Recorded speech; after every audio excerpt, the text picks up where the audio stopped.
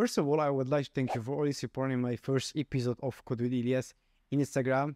Many of you know me as a Shopify partner developer. So in the second episode, I will be talking about what you should learn as a Shopify developer. So in this video, I will be talking about Shopify theme development, Shopify app development, and Shopify headless development, and stay until the end for a bonus section. So let's get started.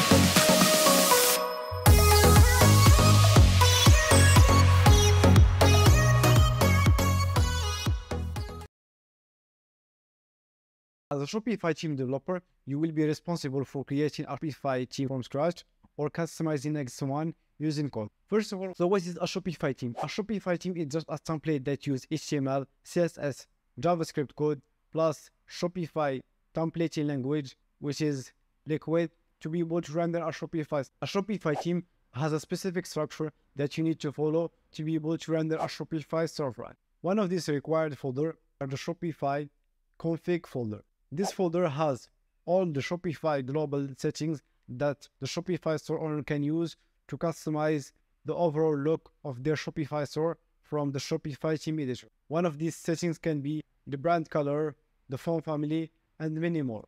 Another required folder is the Shopify section folder. This folder will have all your Shopify section or component that can be used by the Shopify store owner create or customize Shopify page. And there's many more required folder. I will leave you this link where you will have all the Shopify required file and folder and the Shopify theme architecture.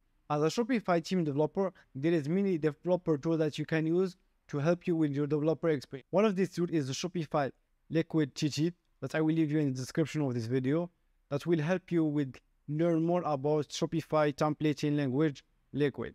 Second tool that will help you as a Shopify theme developer is the Shopify Theme CLI. This CLI will help you with syncing your local code changes to your Shopify remote store because Shopify is cloud-based, so you can't run Shopify locally, but you will run your Shopify theme locally that is linked to a remote Shopify dev store that have your Shopify local theme. So every time you make changes in your local machine, in your, for example, in your code editor, your change will be pushed to your Shopify remote theme code that is on a Shopify dev store to be able to see it in your local machine. And also this CLI will help you validate and let your local changes using Shopify Theme Check. Third tool that I will mention in this video for Shopify theme developer is the Shopify Dawn theme. It's the official Shopify theme that will help you with getting started with Shopify theme development. It has all the things out of the box. For example, the Shopify theme CLI install, the Shopify theme check, and many more. The fourth tool that I will mention in this video is the Shopify section rendering API. It's an API endpoint that will help you re-render a Shopify section by providing their name or their ID, and it will give you the new HTML content for this section. And it will help you creating a similar experience to a single page application in a Shopify theme. The fifth and the last tool that I will mention for Shopify theme development is the Shopify Liquid VS Code extension. It's a VS Code extension that will help you with syntax highlighting, lint and validate your Shopify Liquid code using the Shopify theme check and many more. So that's it for the Shopify team development and let's move on to the Shopify app development. As a Shopify app developer, you will be responsible for creating Shopify app or add-on to be able to extend the functionality for Shopify or multiple Shopify stores. First of all, what is a Shopify app? A Shopify app is just a normal application that uses Shopify APIs. As I mentioned that a Shopify app is just a normal web application, so we need to be a full stack developer to be able to create and build a Shopify. Also, I mentioned that a Shopify app to be able to operate need a Shopify API. And this API is the Shopify admin API. We have REST and GraphQL API for this admin API that you can use for most of the admin stuff for our Shopify store. For example, creating a new order, marking order as paid, creating new customer, creating new page, and many more. And also we have webhook that we can listen to for many of the Shopify store events. For example, order paid, order update, customer create, and many more. And there is a list that I will leave in the description below for all the events that you can listen to using the Shopify Webhook API. So currently we know what is a Shopify app and what's a Shopify admin API. Let's talk about some developer tools that can help us with creating and developing a Shopify app. One of these tools is the Shopify App CLI. It will help you with creating a Shopify app from a template. It's currently supporting Ruby on Rails and Node.js.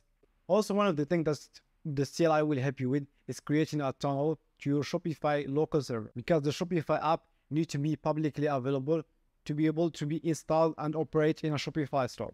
And the Shopify CLI will give you a unique free tunnel to be able to forward to your local host to be able to make your Shopify local server publicly available. Second tool that will help you as a Shopify app developer is the SDK. So currently we have three official SDK, the Shopify Node.js SDK, Ruby on Rails, the PHP SDK.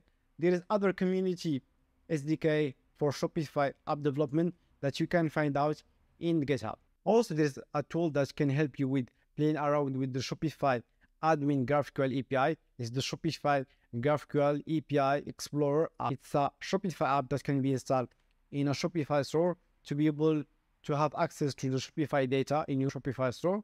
And you can play around with it and make requests without using any external tool.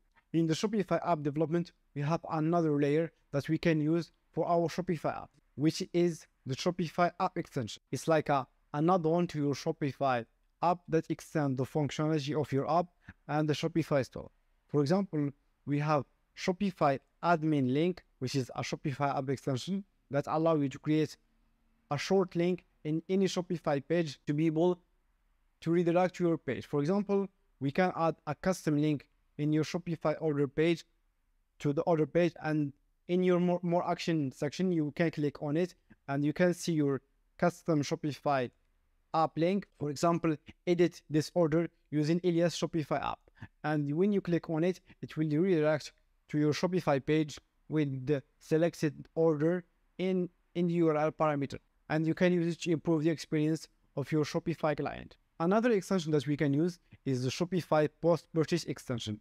It's still in beta, but you can use it for Dev Store and you can request access for Live Store. This extension will allow you to be able to create a page between the Shopify thank you page and the Shopify payment page. First of all, let's discuss the Shopify process. So we have the first page is the customer page where the customer will fill their personal information. The second one is the shipping page. The third one is the Shopify payment page. And the last one and the fourth one is the Shopify thank you page. This Shopify post-purchase extension will allow you to create a page between the Shopify payments page and the Shopify thank you page. This page you can use it for upsell, maybe another validation for your Shopify order, and it will redirect after that to the Shopify thank you page. So you can read more about this extension in a link in the description of this video. Another Shopify app extension that I will be talking about is the Shopify Checkout UI extension. At time of recording this video, it's currently available for only Shopify Plus version. This Shopify Checkout UI extension will allow you to add custom banner, custom field to your Shopify checkout page, add some pre-purchase offer to your Shopify process. This offer will be displayed in the first Shopify checkout page, which is the customer page where we have the order information and the customer detail. So you can add some pre-purchase offer there. Last point that I will be talking about in the Shopify app development section is the Shopify function.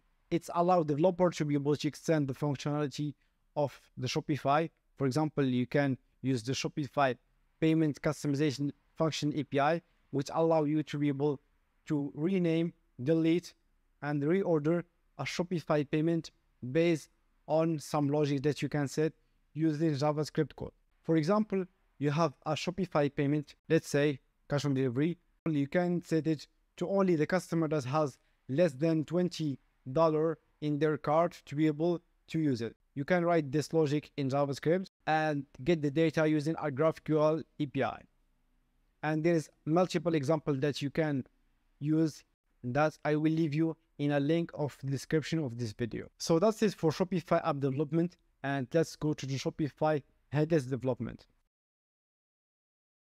As a Shopify headless developer, you will be responsible for creating a Shopify custom front end using the technology of your own, for example, Next.js or Gatsby.js. And you will be only using Shopify as a headless CMS, so you will be only using the Shopify back office without the need of the Shopify storefront. And you can use that through the Shopify storefront API. It's a public API and rate only API. Also, you can use Shopify Hydrogen framework, which is rebuilt using Remix, which Shopify acquired on October 2022 to help you with creating a storefront with some predefined hooks, component, and utility function for Shopify storefront use case. And also it does have some out-of-box feature like TypeScript support and Tailwind CSS support. Second thing that I will be talking about in the Shopify headless part is Oxygen. Oxygen is the Shopify hosting framework for Shopify Hydrogen products that you can use to be able to deploy your Hydrogen products. You can just like uh, connect it to a GitHub repo and you can get different feature. For example, a different environment, for example, development, staging, and production. Also, you can get a preview deployment for each commit that you push to your remote GitHub repo. So that's it for the Shopify headless part. And let's go to the bonus section. So thank you so much for being with me until the end of this video for this bonus section. So in this bonus section, I will be talking about Shopify Marketplace development.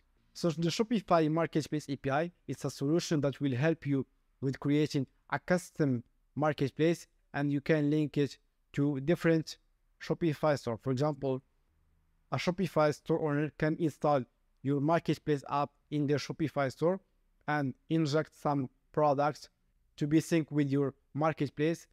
And in your marketplace, you will display all the products from different store and the marketplace owner can charge a commission based on each sale that made through their marketplace for the Shopify store owner. So that's it for this video. I hope you find it useful and I hope you get an idea of different type of Shopify development. If you have any question or any comment or any suggestion for this story or about this video, just leave it in the comment section. I will be more than happy to reply to your comment as soon as possible and implement it in the next video. So thank you so much.